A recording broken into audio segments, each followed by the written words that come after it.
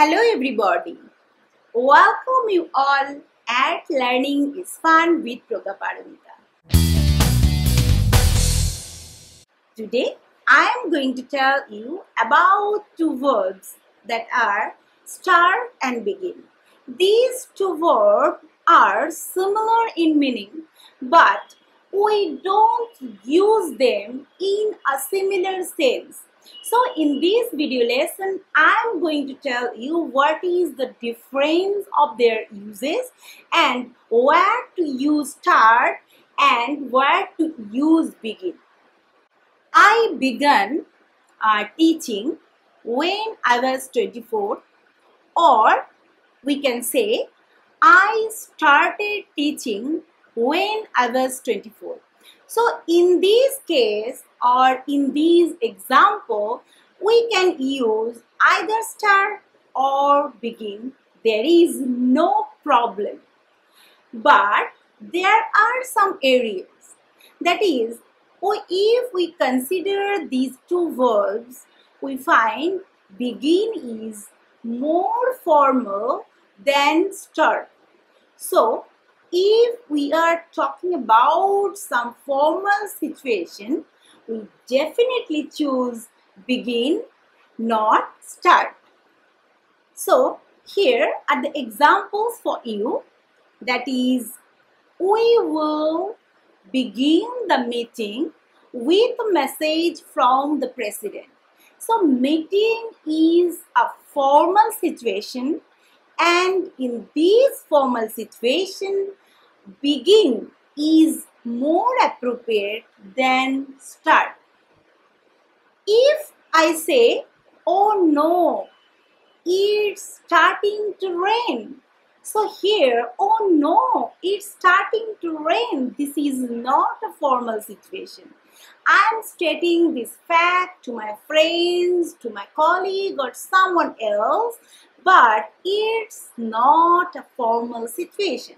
So in that informal situation, we have to use start and uh, here there is no problem if we use start. But if it is a formal situation, we must choose begin instead of start. Now, now I am going to tell you there are some areas where we never use begin because begin is not possible in that case. We definitely have to use start. That is, if we are talking about a journey, uh, we have to use start instead of begin. We have to start early at 6 o'clock because at that time the roads are empty. So when we are talking about a journey, it is appropriate to use start. We never say we begin or we will begin our journey at 6 o'clock. In that case, when we are talking about a journey, we have to use start instead of begin. If uh, we are talking about to start a work or doing something formation, we have to use start instead of begin. The car won't start. Here we never say the car won't begin because this is the machine and we are talking about the work with that machine. So in that case, we have to use start, not begin. And another area that is if we are talking about to make something work. In that case, we have to use start instead of begin. Which is this area? That is how do you start the washing machine?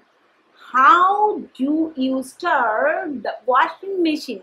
We never say, how do you begin the washing machine? So, when we are talking about how uh, we make a machine to stir, in that case, we have to use star definitely.